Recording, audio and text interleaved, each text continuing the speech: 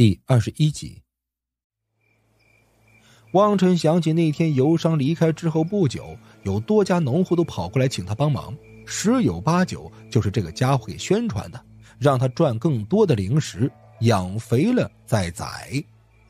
估计对方还对自己进行了一番调查。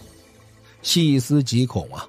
汪晨意识到自己最近可能太高调了。刚刚穿越过来的时候，当他了解到这个世界的残酷，产生过狗的想法。只是汪晨上辈子二三十年一直生活在安定和和平的环境里，有些习惯成了自然了。现如今一个没注意，差点把自己的小命给葬送掉。其实呢，到现在为止，汪晨赚到的零食呢也不过百来块，还不够买一只容积大一点的储物袋呢。可就这点零食，照样能让人下狠手啊！现在的汪晨完全清醒了，他的实力太过弱小了。而在修仙界，弱小就是原罪啊！灵石不能不赚，但行事必须得低调，低调再低调，悄悄的进村，开枪的不要。看着地上的尸体，汪晨的眼神变得坚定。同样的错误不能再犯，提升实力才是当务之急。他把游山的尸体仔细的再摸了一遍，最后摸出了一块玉佩。这颗龟形的玉佩挂在尸体的脖子上。贴身藏于衣物之内，汪晨翻找出来的时候，它的表面已经布满了裂纹，显然是已经废了。回想起昨天晚上的情景，汪晨推测这应该是一件护身的法器。假如他的庚金指没有突破到大成境界，估计躺在地上的就是自己了。收起了玉佩，汪晨取出了那只装着怪味药散的白玉瓶，打开瓶塞，倒了一些药粉在尸体的伤口之上。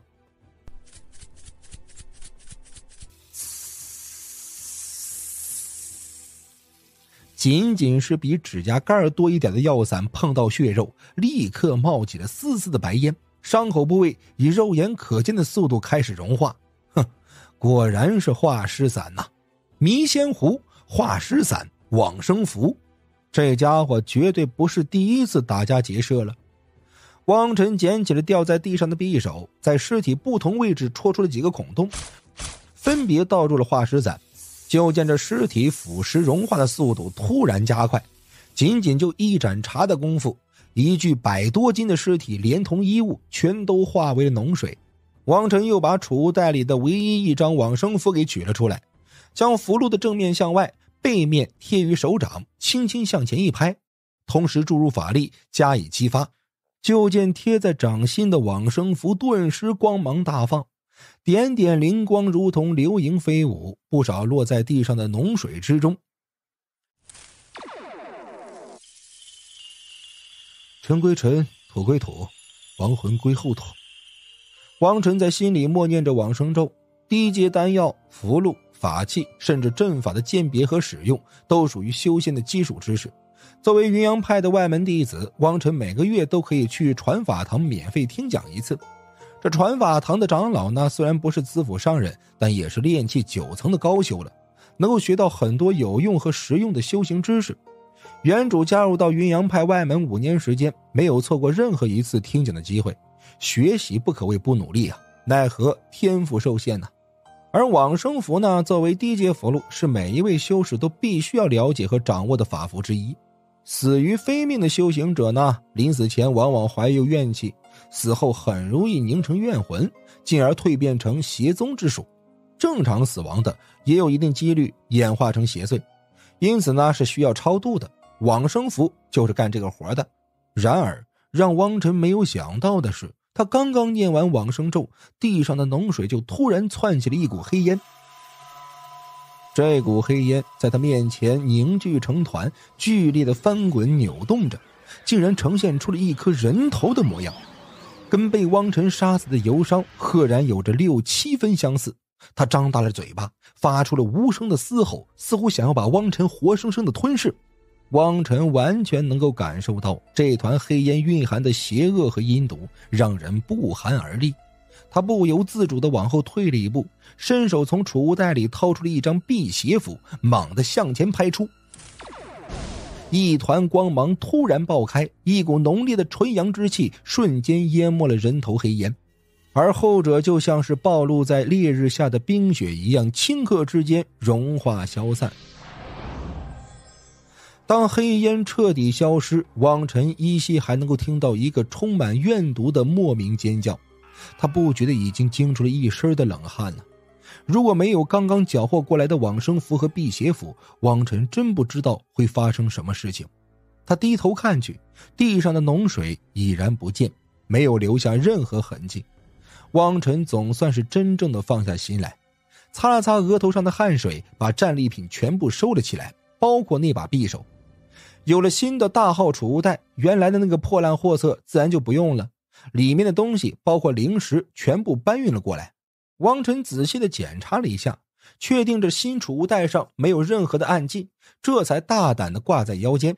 其实呀，除非专门定制，否则修饰常用的储物袋都差不多的款式和尺寸，仅仅从外表上来看，是完全看不出容积大小的。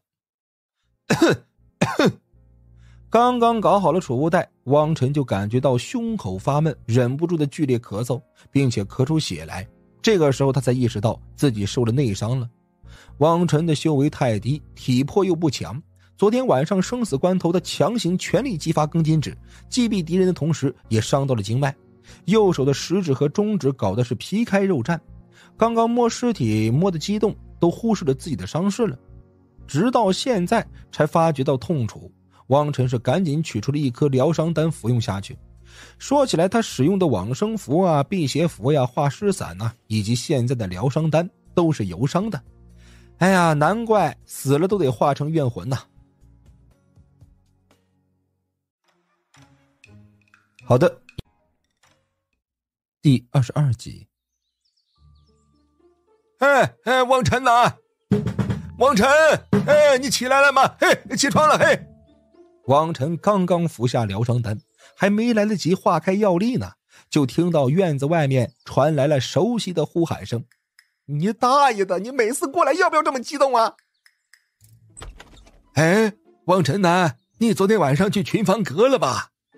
看到刚打开门的汪晨，孙老头先是一愣，旋即露出了猥琐的笑容：“哎呀，年轻人呐，这个要要节制嘛，啊！”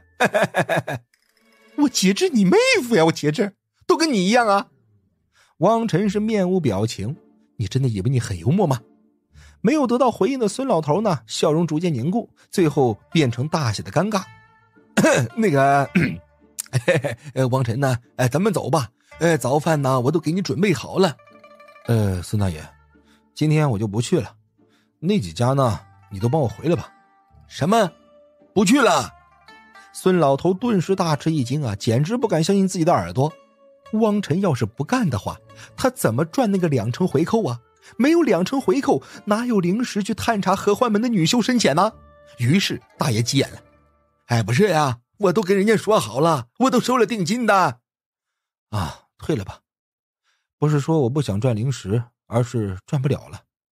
庚金纸用的太多了，我的经脉有些受不住了。”于是他竖起了两根受伤的手指。其实那汪晨说的不是假话，在经脉受损的情况下，他还要去清理地犀牛，那就等于自断仙途。老孙头无言以对了，他也不认为汪晨是在敷衍自己。这汪晨的脸色惨白惨白的，一看就是受了内伤的样子。这两天呢，汪晨也的确够拼的。哎，那那行吧，哎，你好好养伤啊。哎，我去给人家解释一下。他们也能理解的，哎，今天很忙啊，你家的林田呢，我也没时间照顾了啊。老孙头悻悻然的说道：“前两天都是老孙头在帮忙打理汪晨家的十亩林田，现在汪晨受伤了，他哪里肯出白力呀？”于是汪晨笑了笑：“ 没事没关系。”这位大爷的尿性他真的很了解呀。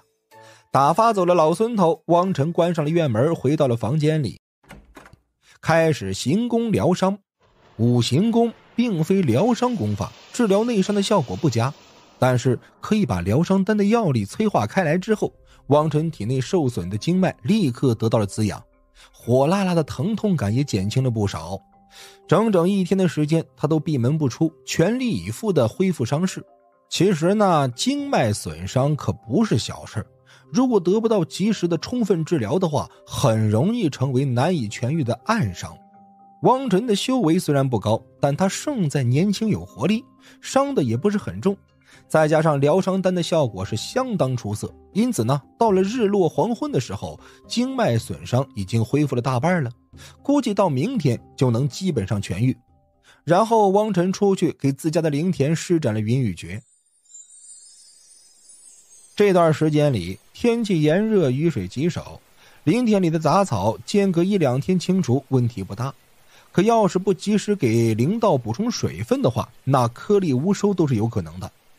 吃完了云雨诀，他再重新的回到家中，生起火做晚饭。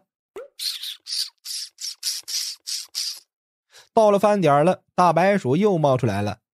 哎，小白。汪晨欣喜的把他捧在了手心上，忍不住的亲了一口。哎，谢谢你救了我啊！昨天晚上，如果不是小白拼命的咬他耳朵，让他清醒过来，凝聚法力，那么现在的汪晨早就被人超度了。大白鼠又叫了两声，甩来甩尾巴，居然透露出了几分羞涩的意味。汪晨正色道：“嗯，小白，大恩不言谢，以后只要有我汪晨一口吃的。”那就保证不会让你两口子饿肚子。他说的非常认真呐。大白鼠似乎听懂了，拿自己的鼻子蹭了蹭汪晨的手腕。汪晨撸了一把小家伙，然后放在了桌子上。然后他去厨房端来煮好的灵米以及香煎虫肉，跟大白一起分享。这锦毛鼠依旧不见身影，汪晨也没有在意，照例包了个饭团让小白带回去。昨天晚上呢，他服用了第二颗疗伤丹。经过了一番治疗之后，内伤基本上好的差不多了，只是时间还早，经历了一场生死劫难，汪晨是毫无睡意。他把那一张从游商脸上扒下来的人皮面具从储物袋里取了出来。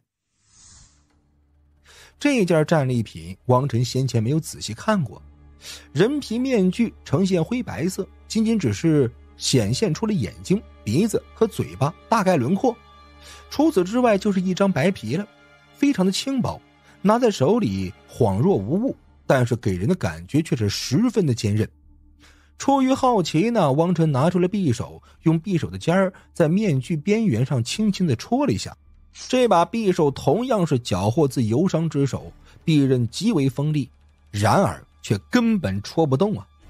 汪晨改戳为划，结果呢，在上面连个划痕都没有留下。这面具的质地坚韧的超乎想象。汪晨顿时来了兴趣，他不断的增加力量，用匕首对着面具是猛戳猛划呀，到最后甚至连聚力术都用上了，居然都没有伤到面具分毫啊！汪晨意识到了这玩意儿恐怕很不简单呐，如果不是他的经脉没有完全痊愈，他都想用庚金纸来试试这面具的防御能力了。而这个发现也让汪晨产生了一丝后怕，昨天晚上他要是把庚金纸射向游商的面门的话。那么有这张面具的阻挡，恐怕未必能置对方于死地。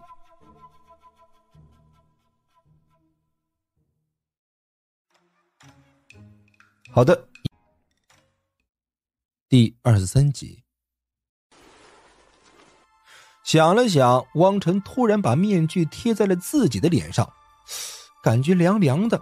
下一秒，人皮面具无声无息的舒展开来，完美的贴在了他的皮肤上。汪晨没有任何感觉不适，他的视线和呼吸都非常的正常，不受半点影响。那戴上面具会是什么样子呢？汪晨立刻跑到卧室，翻出了床头的一面铜镜。只见这镜子里的汪晨面目是一片的空白，很像是他曾经在星野里见过的无面人。这样怎么出去见人呢？汪晨皱了皱眉头。昨天晚上，游商戴着面具入室行凶的时候，他看的不应该是这副样子呀，或者是另有玄机吗？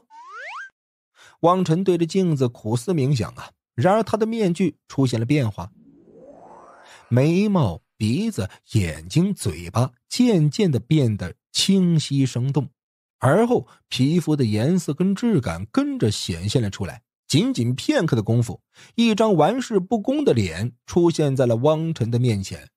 汪晨是目瞪口呆呀。镜子里的脸赫然正是他最喜欢的星爷，而且还是年轻的星爷，跟汪晨的记忆里是一模一样啊！而在震惊过后，汪晨有一种拨开云雾、恍然大悟呃的感觉，他明白了。再次对着镜子，汪晨开始想象另外的模样。转眼之间，镜中的星爷变成了彦祖。嘿嘿嘿嘿，这次赚大了！汪晨差点笑出来呀！这玩意儿太神奇了，他能够把脑海里的人物相貌完美的模拟出来。虽然汪晨对法器法宝了解不多，但是汪晨可以确定，这玩意儿绝壁是罕见的宝贝儿啊！他捡到宝了。于是。星爷变彦祖，彦祖变冠希，冠希变本山。汪晨是玩的不亦乐乎呀！只要是他在脑海里想象出一副脸孔，这张人皮面具就能变出来，惟妙惟肖，毫无破绽呐。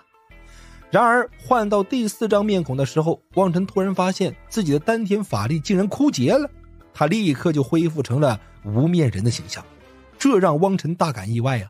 使用这张人皮面具来变化面容，显然是需要消耗法力的。问题是，他刚才都没有察觉到法力的流失啊！汪晨心中一动，把修仙面板给呼了出来。他目光顿时一凝啊，在技能栏里的装备千机变封印，满值是一万，当前三。哎，显示装备了。汪晨试着把人皮面具揭下来，再去看修仙面板。装备栏还在，但是后面空白，没有内容了。重新戴上面具，又再次的显示出来。这下汪晨完全可以确定，正是这张叫做“千机变”的面具激活了装备栏。他反而有了更大的疑惑。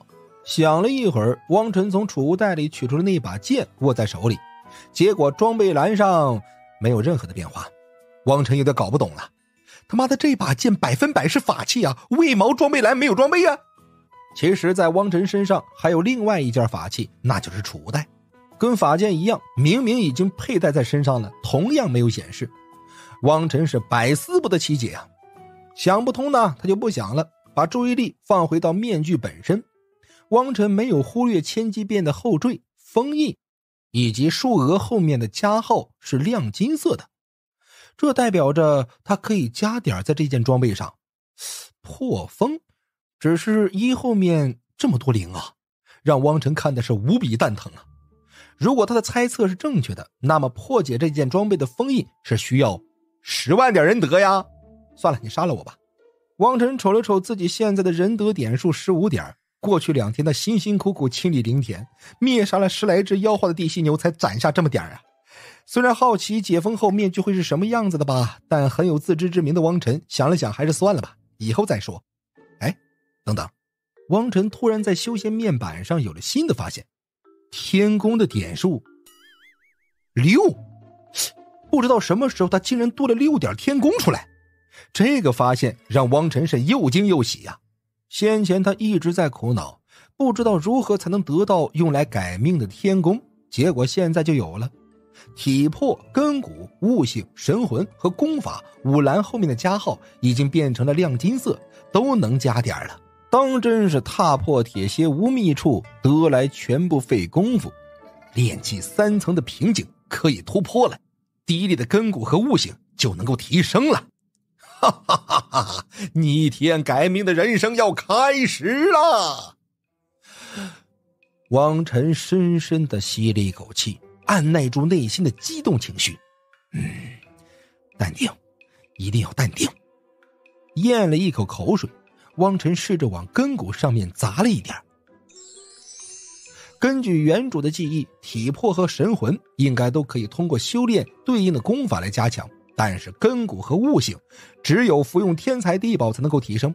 而这类的天才地宝，金丹真人都要拼命抢夺，元婴真仙遇到都得心动啊！像他这样的底层小修士，除非是撞上了极大的机缘，否则看一眼都不可能。天宫瞬间少了一点，而根骨同时增加到了三点。王晨顿时感觉浑身的骨头都痒痒的，像是有什么东西要从骨髓里钻出来似的，心跳突然加快，血液在体内奔涌，整个人似乎都快要飞起来了。但是这样的状况仅仅只持续了片刻，汪晨倒是很想往根骨上面再砸几点，怎奈何后面的加号变成灰的了。因为先前呢有过庚金纸的加点经历，他并没有多少意外。天宫的加点方式呢，显然是跟仁德一样的。第一次加点需要消耗一点，第二次就是十点。至于说第三次是不是一百点，那还有待验证了。根骨不能再加了，汪晨就往悟性上也砸了一点。跟加根骨不同，悟性提高到了三点，完全没有任何感觉。好的，第二十四集。另外可嘉的体魄和神魂跟功法，汪晨暂时没有动。前两者呢是通过修炼功法可以来提升，而后者呢是一旦突破，他就立刻从炼气底层迈入中阶了。以汪晨眼下的身体状况来说，这样做显然不是很明智的决定。汪晨已经想好了，等他的内伤彻底痊愈，他就立刻去云山城租借洞府来冲关，那里灵气充盈，有利于巩固境界，对修行是很有好处的。只是仅仅加了两点，汪晨还是有些意犹未尽。他给千机变加上了一点装备，千机变封印满值一万，当前四，仁德破境点数十四，消耗的果然是仁德点数，没错，汪晨爽了，但是也死心了。关闭了修仙面板，摘下了千机变的面具，连同着剑一同收入储物袋。他回到了静室，继续修炼，丹田里空荡荡的。没有法力护身，一旦遭遇到危险，那真的是哭都来不及。也不知道是错觉呢，还是根骨和悟性都得到了提升的缘故。当汪晨再次修行五行功的时候，他明显感觉自己对这门功法的掌握和理解加深了不少，凝气的速度提升了一些。第二天，汪晨依然是闭门不出，在家里把身体调养恢复到最佳状态。到了第三天。他感觉自己的经脉已经彻底痊愈了，这才出门前往云山城。在路边，汪晨拦下了过路的马车。这种由两只龙鳞马拉动的敞篷大车，在云阳的林地周边是很常见的，主要是用来载客。只要给车夫一颗碎灵作为车费，他就能把人拉到云山城的城门口。而原主乘坐龙鳞马车的次数是屈指可数的。为的就是省下一块碎灵，情愿步行五十里。汪晨现在是真不在乎这点小钱，他现在的积蓄突破了一百下灵，又摸尸大赚一笔。以后啊，光吃灵米就不嚼骨壳了。汪晨上车的时候，这车厢里已经坐着十几号人了，都是前往云山城的底层修士，其中有不少是面带风霜的灵植夫，他们大部分流露出了苦愁之色，还有唉声叹气的。通过旁听这些人的对话，汪晨得知地犀牛虫灾已经波及到整个外门区域了，受灾的灵植夫是成千上万，很多灵植夫损失惨重。然而云阳派上面却迟迟没有反应，全靠大家自救灭虫。这样的情况再持续下去，恐怕没有多少户人家能够在夏末缴足田租了。汪晨实在是搞不懂云阳派高层的思路。围绕着云阳灵地外门区域开垦了数十万亩灵田，这些灵田每年的产出，除了供应十几万的门派弟子之外，也为依附于云阳派以及真人、上人家族的修士、武者、杂役提供了最基础的修炼资粮。民无粮则不安呐，这个准则放在修仙界也同样成立。虽然说修士吃凡俗界的贡米也能饱腹。但是没了灵米提供的灵气滋养，修行的速度和效率必然会大大下降，人心如何能稳呢？现在大量的灵田遭到了虫灾，云阳派居然迟迟没有行动，匪夷所思呀！不过王晨就算是再想不通，他也仅仅只是一个底层的小修士，根本做不了什么。事实上，如果有被谋财害命的教训，就算现在的汪晨能做点什么，他也不想再出风头，成为别人觊觎的目标了。马车林林，在宽阔平整的驰道上跑出了七十码的速度。因为大量的修士存在，修仙界的基建能力也是非常强悍的。逢山开路，遇水搭桥，没有钢筋混凝土的现代化机械，但是各种的法术和大将能在一夜之间铺出长十里的驰道。一条标准的驰道可以容纳出六辆的龙鳞马车并行，路面的平整和坚固程度丝毫不亚于地球界的高速公路。而汪晨呢，也不止一次看到云山城里的修二代们在驰道上飙车的场面。龙鳞马车跑得很快，虽然中途呢又停了很多次，但是不到半个时辰，一座巍峨的城池就出现在了汪晨的眼前——云山城。云阳派外门的三城之一，外门总堂的所在地。然后，堵车了。背靠着天云山脉的云山城呢，有三座城门，每座城门都是数条驰道的交汇点汪晨乘坐着马车，跑的是连接西门的一条驰道，在距离城门还有两里地，路上已经堵的是水泄不通啊！大量的马车拥堵在了一起，车夫们都开始骂娘了。而乘客们早已经是见怪不怪，纷纷下车步行。汪晨呢，自然是随大溜了，来到了城门口，向守卫出示了自己的身份名牌。汪晨顺利的进入到了城中。作为云阳派的外门弟子，他进入云山城呢是无需缴纳任何费用的，但是换成了散修，入城费是一块下领。虽然门槛很高吧，然而数不清的散修依然趋之若鹜。因为这云山城是方圆千里之内最繁华的仙城，拥有数十万的人口，在这里有最大的坊市、机坊、赌馆、酒肆、茶楼。只要你储物袋里的零食足够，那么功法、丹药、法器、符箓、灵石、机女应有尽有。最重要的是，云山城很安全。很多散修常年在外面拎着脑袋冒死，为的就是能够在城里一夕的醉生梦死。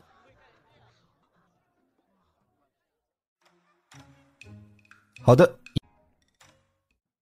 第二十五集，穿过了熙熙攘攘的人群，汪晨是直奔城北而去。城北靠山的区域开辟出了有数以百计的修炼洞府。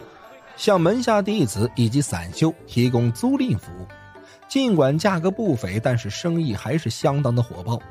王晨今天的运气不错，赶过来的时候啊，还有一些空闲的洞府。这里的洞府也是分档次的，最好的几座可供子府上人修行，大部分适合炼气高阶和中级的修士。一座可满足炼气中阶修士的修行洞府呢，日租为十五下灵。原主留给汪晨的那点零食呢？仅够租半天的，汪晨咬牙拍出了三十下灵，租了两天。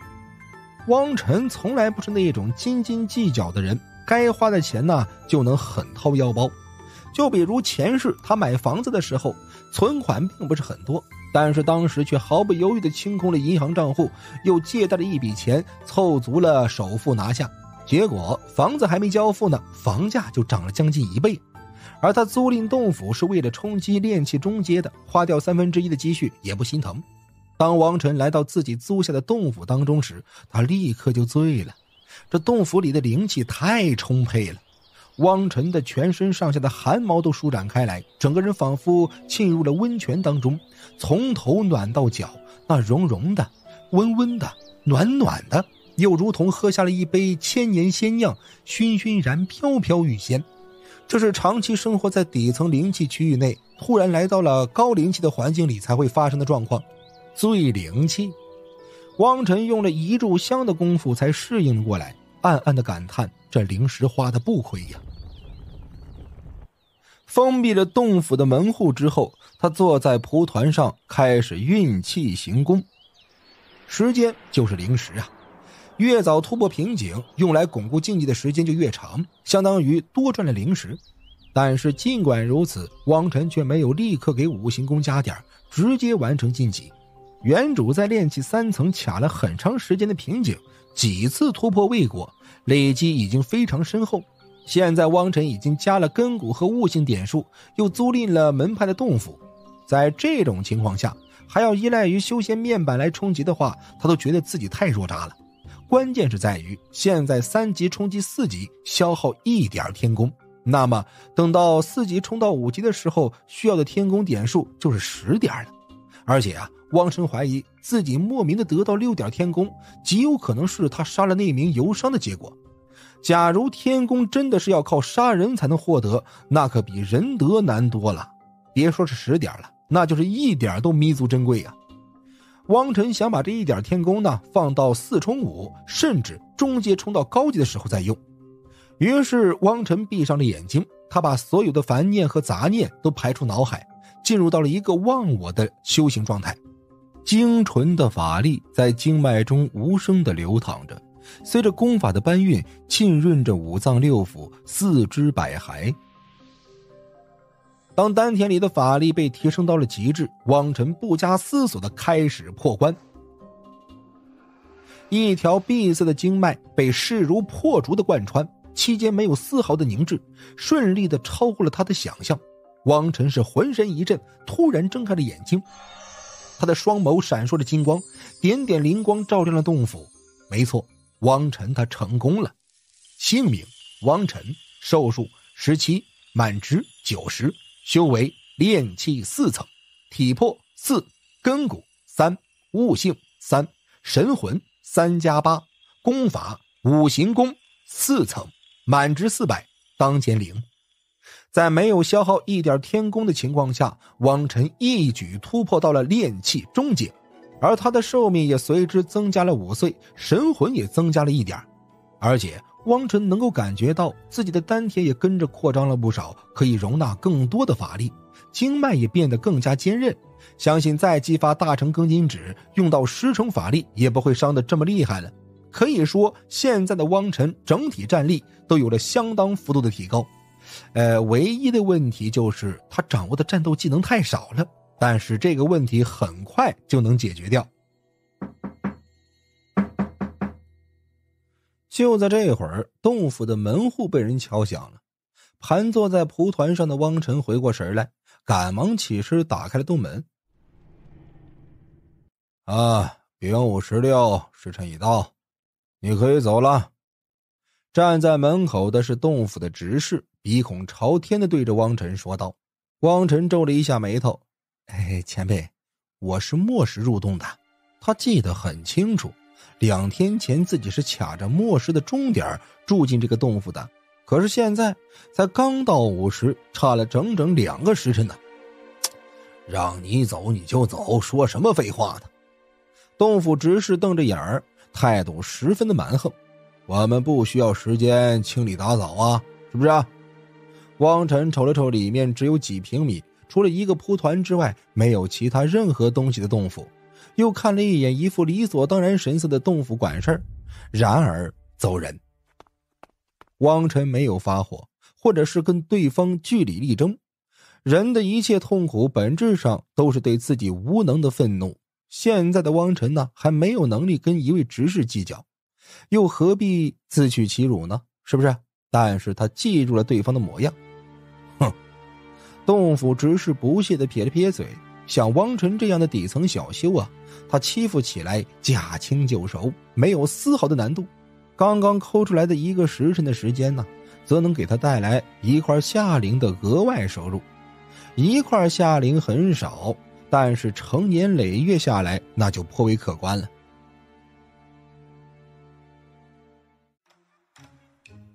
好的，第二十六集。洞府执事也不怕汪晨告状，他在上面有人，否则的话也不会得到这份美差了。而离开洞府的汪晨正赶往外门的总堂。说起在洞府里修炼的感受呢，真的是太舒服了，让他仅在半天之内就突破了瓶颈，晋升到了炼气四层，又用了一天的时间来巩固境界，修行效率真的是自家里的好几倍呀。想想那些出身子府商人，甚至是金丹真人的家族子弟，从小就在这样的环境里修炼，那比起普通人高的不知道多少倍了。那就算是一头猪，也能修炼成猪妖了。但是汪晨没有因此而怨天尤人，他有两世为人的经历，又有了修仙面板为助力，未来的成就绝对不会低于任何天才。且看将来吧。云阳派的外门总堂呢，位于云山城的中心处，是一座城中之城。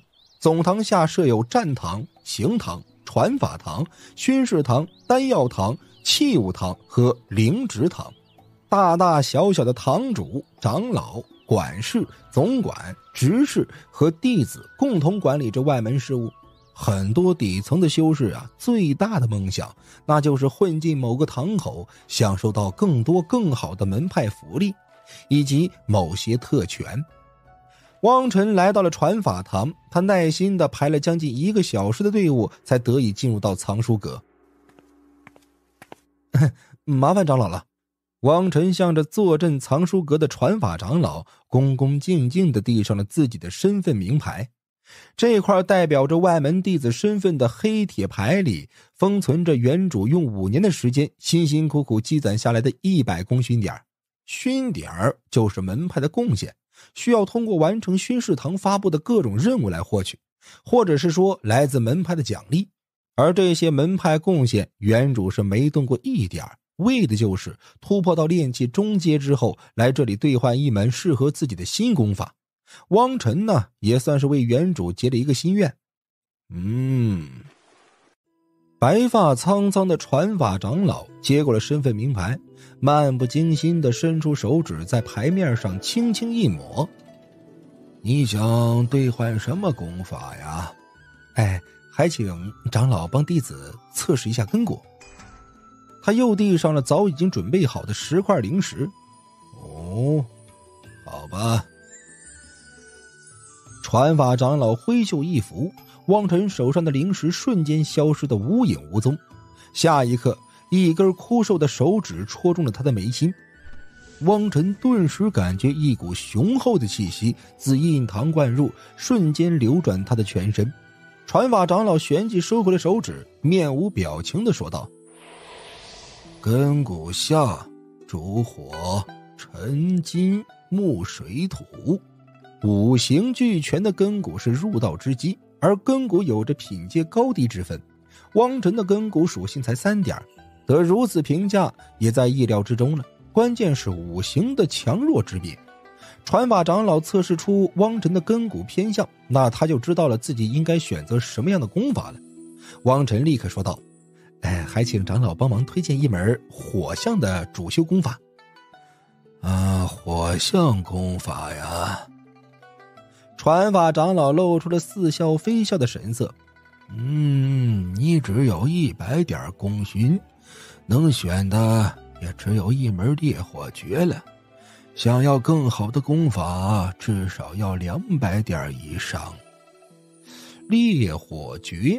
汪晨还真知道这门功法，他的心里是非常失望的。烈火诀呢，比起五行功根本强不了多少。要知道，汪晨现在选的可是主修功法，要一直修炼到炼气高阶的。如果主修功法太过平庸的话，那么同阶修为差了别人一筹不说，将来突破开窍的成功率也会低很多。汪晨倒不是很担心破窍的问题，功法太差劲儿，那真的很糟心呐。他的根骨和悟性又很低，要不等多赚一点功勋再来兑换？其实呢，你还有其他的选择。正在汪晨犹豫的时候，传法长老开口了：“你的五行相性相当平衡，火象强有限。如果愿意安安稳稳当个灵职夫的话，继续修行五行功。”也是很好的选择，一百点功勋他，可以兑换五行功后六层的全部功法。汪晨哑然呐，传法长老说的很婉转，意思其实很明显。汪晨的根骨低劣，五行相性非常平庸，没什么前途可言。所以呢，大家都不想修炼的五行功，反倒是很适合他。因为这五行功呢，兼容了几乎所有的低阶法术，跟灵植夫非常相配。见到汪晨沉默，传法长老有点不耐烦了。哎，年轻人不要好高骛远，五行功的来历也不简单，比烈火诀强多了。哎，你换不换？呃，换了。汪晨一咬牙答应了下来。五行功就五行功吧。他有修仙面板开挂，修炼功法的速度超快，又可以依靠天宫仁德来破境改命，破窍开府并非梦想。届时积累了足够的功勋点再兑换一门高级的主修功法也不晚。五行功虽然平庸，但是兼容性之强是无可比拟的。哎，赶紧的！传法长老伸出了手，抓过了一根玉简，丢给了汪晨。好的，第二十七集。按照传功堂的规矩，门派弟子兑换完功法是不可以带走的，只能当场修习。王晨接过了玉简，将其紧贴在眉心部位，然后注入法力。玉简顿时绽放出了千万道光芒，无数的信息如同洪水一般涌向了汪晨的识海。顷刻之间，五行功法四至九层的功法秘诀无声无息的烙印在了他的神魂之中。汪晨的识海再次发生变化，无数的淡金色文字自他的神魂之中浮现而出，凝聚成了一团灵光法种。一颗法种代表着一部完整的功法。刚刚凝成的这颗法种里，包含着五行功第一层到第九层的全部修炼法诀。以后汪晨只要感悟这颗法种，自然就能获得对应自身境界的功法。而在法种的周围萦绕着一条条暗金色的枷锁，这是法式封咒。法式封咒对应的是法不轻传的天道第一式。汪晨在激活功法玉简的刹那，就为自己立下了这一条源自于远古的誓言：在法师的条约之下，他可以学习、修炼、使用，甚至修改所得的功法，但是无法传授给别人。只要是从门派获得的功法，包括术法在内，都有着相同的法师封咒存在。宗门用它来保证传承功法不被外泄和扩散出去。当汪晨的意识从识海里抽离出来，他发现自己已经身在藏书阁之外了，手里也是空空如也。阁门行了一礼，汪晨离开了传功堂。他没有立刻回家，而是在云山城里四处转悠。千年之前，云阳派占据了天门山灵脉，立下山门，前前后后建造了云山、云湖和云海三座仙城，统辖方圆万里之地。而云阳三城，云山城最大，也最为繁荣，九坊十八街容纳了几十万的居民。而在云山城里开府设宅的上人也有几十位之多。汪晨一路走来，所见到的商铺、旅馆、酒楼、赌坊、车马行等等等等，基本上都是这些商人的家族，或者是依附于他们的修士产业。街道上是车水马龙、熙熙攘攘，千行百业的人在这里汇聚，一派热闹鼎盛的景象。原主来过云山城很多次，却从来没有真正的领略过这座仙城的风采。而汪晨行走在其间，有种恍如梦中的错觉。哪怕是修仙者，也很难抗拒这样的繁荣。也不怪不少人削尖了脑袋都想往里面挤。不过汪晨嘛，毕竟来自于现代化的大城市，虽然一时的目眩神迷，但也没有真正的被动摇心智。他走进了一家门楣上悬挂着“四海商会”匾额的店铺之中。先生晚安。汪晨刚迈入门槛，一位相貌清秀的侍女就立刻迎了上来，恭恭敬敬的行礼问候。请问你有什么需要？生活在云山城里的居民呢，并不全是修士，实际上还有着大量的凡人，或者是说准修士。他们大多以武者、托凡妻，充当着苦力、杂役、仆从、侍应等等等等角色。这其中呢，还有不少的先天武者。先天武者在凡俗界那可属于人上人，战斗能力不亚于低阶的练习修士，但在这里顶多也就能当个看家护院的随从。至于热情接待汪晨的这一名托凡侍女，则完全不值一提了。汪晨点了点头：“呃，我要购买功法，在外门总堂兑换五行功的后六层功法已经清空了他全部的勋点。”因此呢，汪晨只能在这家四海商会寻找自己所需要的法术技能了。四海商会并不属于云山城里的任何一个上人家族。事实上，这家商会的根脚比云阳派都来得深厚，拥有着上界背景。跟四海商会类似的还有一家，叫做万宝阁。万宝阁比起四海商会更加牛逼，据说在万千世界都有着生意买卖。别说是云阳派了，那就是云阳派的上门以及上门的上宗也不敢轻易得罪。只不过万宝阁做的生意都是高端生意，在云山城里建造的楼宇就是高达了十五层，仅次于观星阁了。像汪晨这样的底层小修士，储物袋里揣着几十块下令，进门的资格都没有。而同样经营着符箓、法器、丹药、功法、材料生意的四海商会，无疑要接地气多了。在侍女的引领之下，他来到了二楼。一位笑眯眯的胖子接待了汪晨。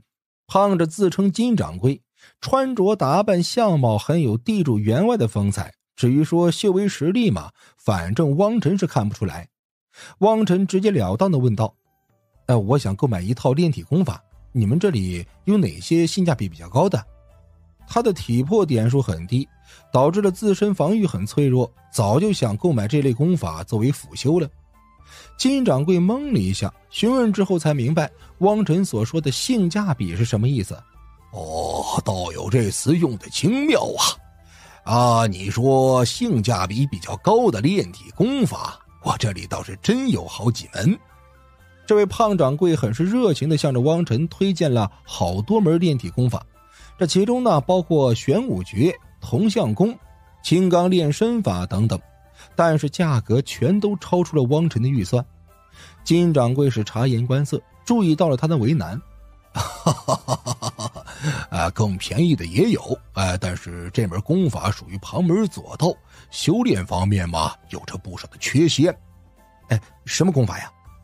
啊，天龙金刚正法，呃，佛门功法。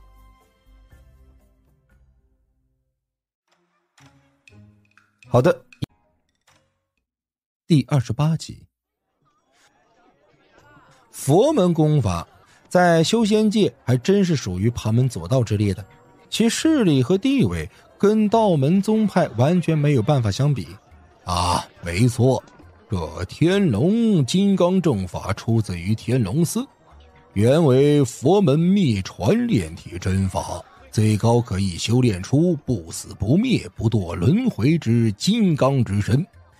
但是呀，这门功法入门容易，破境难，想要练到高阶，还是需要辅佐与佛法。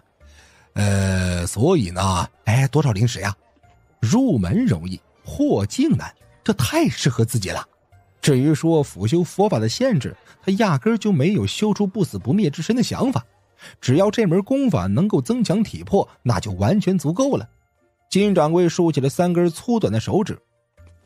三百下灵啊！哎，三十！如果不是四海商会的招牌响当当，他都怀疑对方在拿自己寻开心呢。这天龙金刚正法的前三层法诀呢？只需要交三十下令，如果不是法事所限，这帮家伙都想免费赠送了。呃，我可以保证，功法是没有问题的。哦，那我买了。汪晨不加思索的拍板下来。四海商会的信誉真的值得信赖，人家不可能哄骗他一个练气的小修士。金掌柜让人拿来功法玉简，然后对着汪晨说道：“这门功法呢，练练还是可以的。”但是最好不要花费太多的时间在上面。呃，另外，这辅助修炼的金刚酥油你要吗？看着眼前笑容可掬的胖子，汪晨突然有一种掉到坑里的感觉。城市里套路深呐，汪晨想要回农村呐。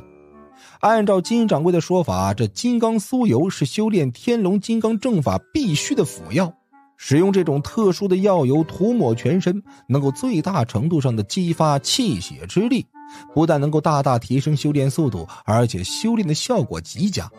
虽然没有金刚酥油，也不是说就不能修炼这天龙金刚正法，但是效率和威力必然是大打折扣。这样的话，还不如选择其他的炼体功法更合适。四海商会就有金刚酥油出售，一瓶售价十下令。仅仅只能满足一次修炼所需，王晨听后啊，实在是无力吐槽了。这不就是地球界东瀛人脉打印机的套路吗？不能说一模一样，简直是完全没有区别呀！东瀛人自以白菜价销售品质出色的打印机，亏本占据了市场，挤压竞争者，然后再靠卖高价的耗材赚的是盆满钵满呐。一套原装耗材的价格可能就达到了打印机的五分之一，甚至更多，满满的即视感呐，贼秃可恶呀！然而，汪晨还不能说四海商会坑自己，人家用的是阳谋。事实上，双方的交易并没有完成，功法玉简还在金掌柜的手里。汪晨当然可以拒绝，问题在于天龙金刚正法完全符合他眼下的需求。首先呢，是这门功法的炼体威能很强，入门容易，而且价格又实惠。需要搭配着金刚酥油，虽然有点坑吧，但是作为复修功法，也不是完全没法接受的。汪晨忍着心痛，掏出了五十下灵，购买下了天龙金刚正法的前三层法诀。以及两瓶印度神油啊，不，呃，金刚酥油。他准备先试试这门功法，实在不行的话，损失也不算太大。汪晨另外又购买了一门灵木术和一门御物术。灵木术和御物术都是炼器低阶法术，所以价格十分便宜。这其中，灵木术可以用来探查修士以及邪魔妖祟的实力层次，探查范围呢？由自身的修炼以及法术级别来决定，并且能受到诸如隐身术之类法术克制，并非百分百有效。但是呢，这门法术基本是每个修士都会的。而原主之所以没有掌握呢，主要是贫穷使然呐。原主还觉得自己是一个灵植夫，老老实实的耕田种地，也不需要懂得什么灵木术。这样的想法让汪晨很是无语啊，因此呢，就一起购买了。至于说驱物术，顾名思义了，就是控制物品或者法器的法术。值得一提的是，驱物术是御剑术的前置技能。想要修习御剑术，那就必须要把驱物术修炼到至少精通级别。另外，驱物术的可玩性很高啊，价格呢又很实惠，所以呢，汪晨也不会错过。其实，汪晨还想再购买几门攻击法术的，怎奈灵石已经所剩无几了，只能等下次再回来了。离开了四海商会的时候，他的储物袋里少了七十虾灵啊，多了两瓶印度神油，而尸海之中呢，又多出了三颗法种。这三颗法种同样受到法师封咒的束缚。四海商会出售的功法和法术跟门派里兑换的是一样的，都附带有法师封咒。据说在上古时代，这功法秘籍大部分是用书册来记载的。宗门大派的藏书阁里藏着的可都是真正的书籍秘册，没有法师封咒的限制。而现在基本上都用功法预检了。至于说秘册典籍，也没有完全消失，常见于黑市地摊上，用来忽悠菜鸟小白。但凡是有点修行常识的，都会去购买那种所谓的神功秘籍，因为书写技术的功法，一字之差，往往谬以千里。为本错本数不胜数，拿来修炼怎么死的都不知道。功法御简里虽然有着法师封咒的限制，不过反过来这法师封咒也保证了功法的真实性。其实呢，像汪晨这样的门派弟子算是很好了，至少有着正规途径可以兑换正宗功法。散修们那才叫惨呢，为了得到一门功法，可能会付出生命的代价。好的，第二十九集。另外啊，御简封印的功法层次越高，能够激发的次数就越少，而功法御简无法复制，炼制呢又很容易，所以呢，修仙四要素，财、法、履、地，法排到第二位，不是没有原因的。时间还早，汪晨接着来到了一家铁匠铺当中。修仙百艺里面，炼器和降造是一大门类，从业者是比比皆是。汪晨找的并不是什么炼器师，想要打造的也不是什么法器。他拿出一张图纸，向铁匠铺里的掌锤匠说明了自己的要求。这图纸呢，是汪晨前几天在家疗伤的时候所画的，因为当时没有合适的笔纸，所以画的是相当粗糙，必须要描述清楚。但是东西并不复杂，掌锤匠师傅听完之后啊，又跟汪晨沟通了几句，然后拍着胸脯说道：“哎，这个简单，半个时辰以后你来拿。价钱呢也非常便宜，只要了汪晨一块下令。汪晨当场支付了零食，然后又跑去了附近的杂货店和肉铺，购买了一些调料、香料以及五十斤妖兽肉。炼体必须得吃肉，没有灵气的普通肉都不行。他虽然灭杀了大量的地犀牛，其中呢也包括了不少的妖化地犀牛，但所得的那一点虫肉也就够平时吃几个饭团了。吃到现在都已经快吃完了。妖兽肉的价格可真不便宜，汪晨买的虽然不是下品肉，但依然花了他五块下灵，差不多是灵骨的五倍呀。这下子，汪晨的储物袋算是彻底被掏干了，里面只剩下了两块下灵和几十碎灵。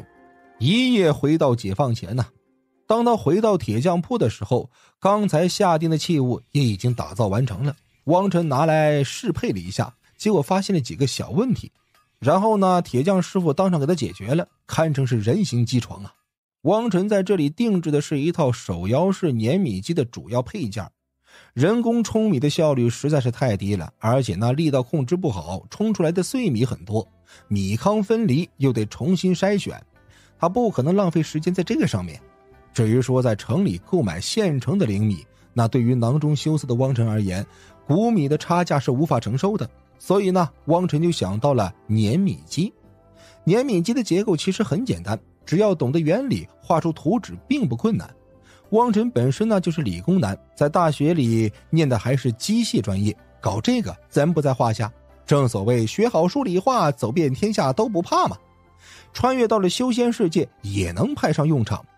赶在太阳落山之前，汪晨带着满满的收获，搭乘着马车回家了。在回家的时候，天都已经快黑了。汪晨是过家门而不入，直接从储物袋里取出了锄头，开始清理灵田里的杂草。这些杂草啊，比 A 股的股民都难割呀。昨天刚铲过一回，隔了一天又长了不少。也幸好啊，他租种的林田亩数少，再加上已经完全熟悉农活了，因此呢，披星戴月的一番辛苦总算是搞定了。最后呢，还没有忘记施雨，而等到饥肠辘辘的汪晨真正回家，早就过了戌时了。一回到家，一只大白老鼠正蹲在桌子上，一看到他，立刻站起来叫唤了两声，这叫声里还带着一丝丝的幽怨。哎呀，那个小白啊，抱歉啊！汪晨猛拍了一下脑袋，他都忘记了自己家还有一只老鼠嗷嗷待哺呢。这大白老鼠呢，抽了一下鼻子，撇过了脑袋，仿佛是无言的控诉：“什么叫做以后有你一口吃的，那就保证不会让我饿肚子呀？骗子，全都是骗子！男人都是大猪蹄子！”汪晨不好意思的搓了搓手，撸了大白两把：“哎呀，你别生气嘛，晚上啊，我做大餐。”来到了厨房，先取出了一大块瘦肉，放在案板上，用木棍进行敲打。这妖兽肉呢，脂肪比较少，而且肉质韧而柴，里面的筋膜数量很多。反复的击打可以打散肉筋，然后可以大幅度提升口感。感觉差不多了，再放入餐盘里，加入酱油啊、香料啊进行腌制。紧接着，汪晨取出了在铁匠铺定制的配件，开始组装碾米机。这碾米机呢，是由机壳、滚筒、米刀。再加工斗、米筛等部件组成的。限制于制造技术，这个电机呢换成了手摇把，结构方面做了简化处理。组装工作也很简单。不得不说呀，掌锤的匠师手艺还是很赞的。所有部件全都是采用的精炼的黑铁锻造，包括机壳、铁皮都加工的很漂亮，精度完全合格。汪晨亲眼看到那位匠师拿着一把小刀。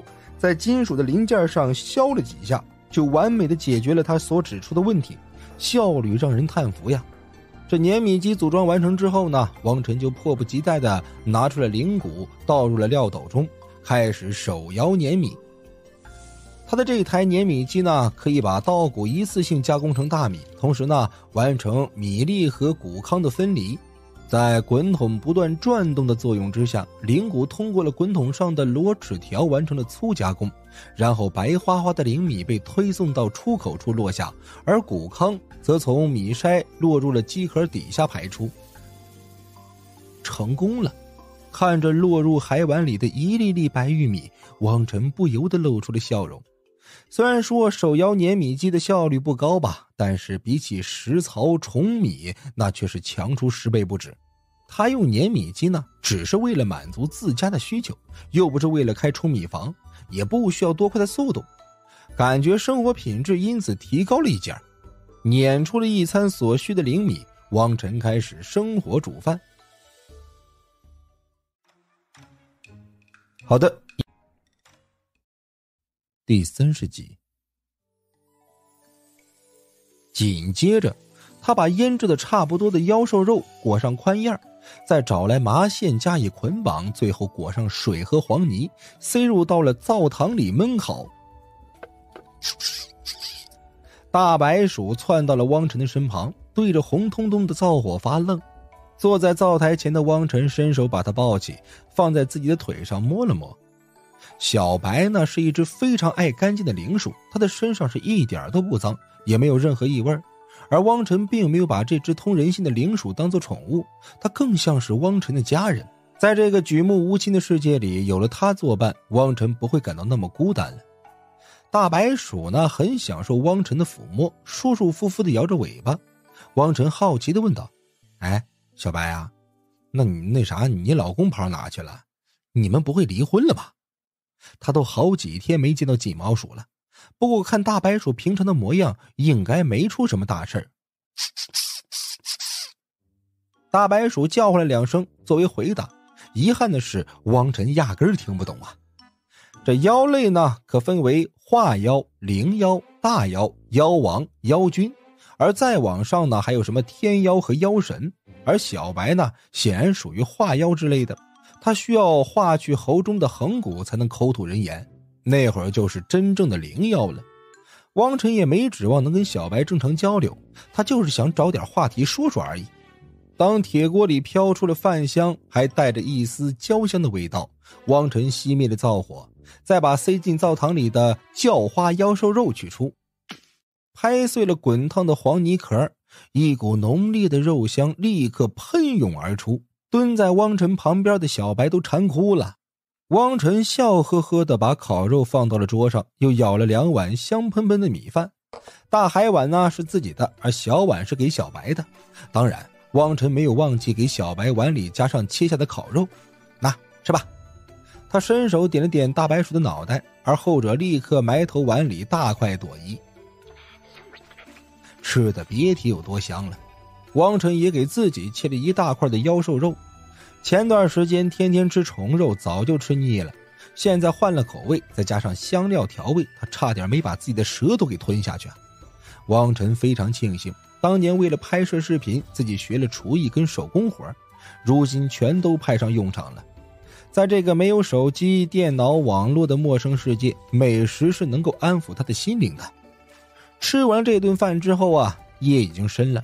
小白叼着汪晨捏造的饭团回了巢穴，而汪晨来到了净室里开始修炼。今天兑换的五行功的后续功法，他的日常修行呢也随之恢复了。在练气初阶迈入到中阶的过程中，汪晨打通了一条新的经脉，因此让他完成一次法力周天循环的时间延长了不少。他当前的情况是五行功经验加一。五行功四层，满值四百，当前一。汪晨无视掉了世界里弹出的消息提示，全神贯注地感悟着更高层次的功法的真意。在未来很长很长的岁月里，他不知道还要度过多少个同样的夜晚。次日清晨，定阳钟声让汪晨从睡梦中苏醒了过来，简单的洗漱了一下，他做了顿早餐填饱肚子，又回到静室里开始修炼。完成了早课之后，再去灵田里忙活，清除地犀牛的赚钱活计。汪晨已经不再干了，所以呢，这十亩林田必须要好好的伺候，否则会影响收成，那就糟心了。哎哎，狗子，哎狗子！正在汪晨在田间为林道翻耕松土的时候，隔壁家的老孙头又出现了。哎哎，昨天你去哪儿了？呃，里长过来说给大家发派阵旗，让插在林田里，说是今天会有资府商人过来清除虫害。哎，你给错过了。汪晨搞不懂这位大爷为什么如此开心呢？不过我家林田里没有地犀牛啊！哎呀，万一漏掉了呢？嘿嘿嘿，哎，我讨了一面，再清理一遍也是好事啊！哎，可惜呢不能带领，否则呢帮你一起讨了。他一副占到大便宜的模样，然而汪晨却隐隐感觉事情没这么简单。干完了农活，汪晨匆匆的回家了。昨天入手了一套功法和两门法术，都需要认真的学习和研究。而随着实力境界的提升，掌握的技能增加，未来的日子只会更加忙碌。汪晨现在啊，反而很庆幸自己仅仅只是租种了十亩林田，否则耗费太多的时间在这上面，必然会影响到正常的修行，那就得不偿失了。在静室里。汪晨首先激活了石海里那棵封印着的灵木树的法种。这灵木树呢，属于炼器低阶法术，初入炼器就可以修炼。而这门法术的原理很简单，就是凝法力聚于双眼，通过激发灵石来观察目标所散发出来的气息波动，进而完成阶位判定。不过，让汪晨感到惊讶的是，他第一次修习灵木术，居然，叮。灵木术入门，满值一百当前零，一次性成功，直接入门了，顺利到让汪晨都怀疑自己的悟性是不是真的只有三点，这么容易，把他都给整的不自信了。但是仔细想想呢，汪晨又觉得很正常，因为他现在已经是炼气中级的修士了，学习最基础的法术自然是轻松简单了。而灵木术的运用跟汪晨先前搜索地犀牛的手段有些相通的地方。这就好比做了千百遍同类型的习题，已经是熟能生巧了。好的。